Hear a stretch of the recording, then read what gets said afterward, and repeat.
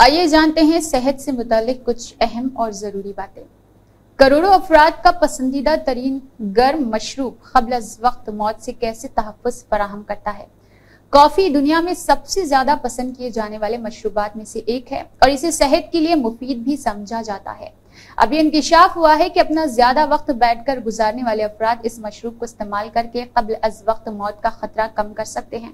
ये बात चीन में होने वाले तिब्बी तहकीक में सामने आई है। सोचो, यूनिवर्सिटी की तहकीक में बताया गया है कि बहुत ज़्यादा वक्त बैठकर गुजारने से मुख्तलिफ़ अमराज से कबल अज वक्त मौत का खतरा बढ़ जाता है। इस तहकीक में दस हज़ार बालिग अफराद का डेटा तजिया किया गया और उनकी सेहत का जायजा तेरह साल तक लिया गया है।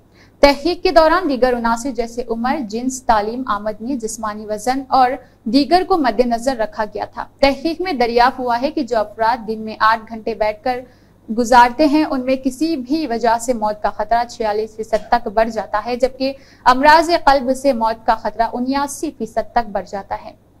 तहकीक के मुताबिक कॉफ़ी पीने से सुस्त तर ज़िंदगी या ज़्यादा वक्त बैठकर गुजारने से सेहत पर मुरतब मनफी असरा से तहफ़ मिलता है।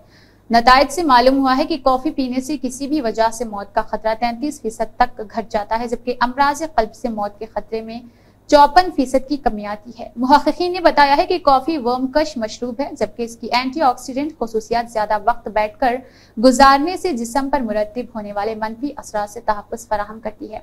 उन्होंने मजीद बताया है कि ज़्यादा वक्त बैठ कर गुजारने से जिसम में वर्म फैलता है, मगर कॉफ़ी पीने से इसकी रोकथाम में मदद मिलती है।